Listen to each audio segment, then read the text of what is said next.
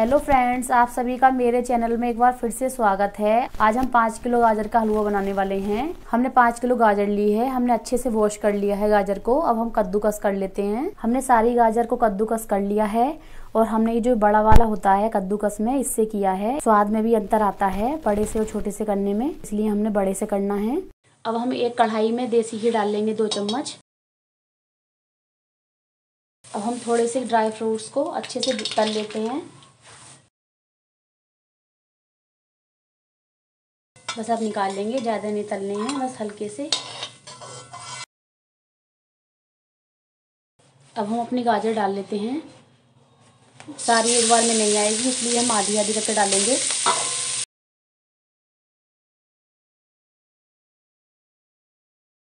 और गाजर को अच्छे से भून लेंगे। अगर आपके पास बड़ा बर्तन है तो आप एक बार में भी डाल सकते हैं।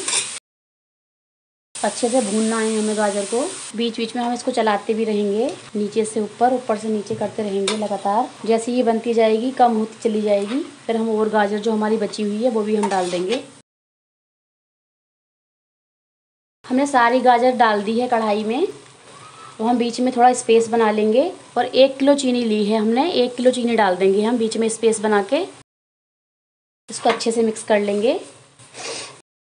पाँच किलो गाजर में हमने एक किलो चीनी ली है। अच्छे से मिक्स कर लेंगे।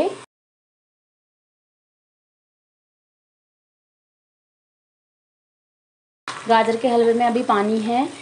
जो अच्छे से पूरा मॉइस्चर सूख जाएगा, तब हम इसमें मावा डालेंगे। उससे पहले हमें नहीं डालना है। गाजर भी पानी छोड़ती है और चीनी से भी पानी बन जाता है।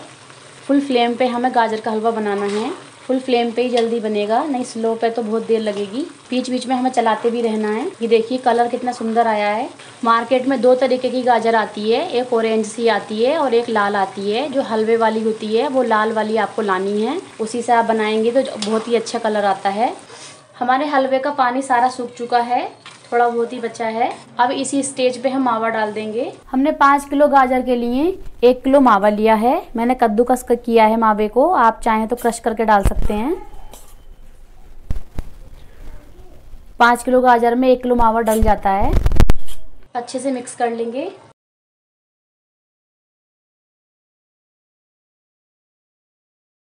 कुछ हमने ये इलायची को कूट लिया है। इलायची डाल देते हैं। ये ड्राई फ्रूट जो हमने तले थे, वो ही, ये हमने कट कर लिए हैं। ये भी डाल देते हैं।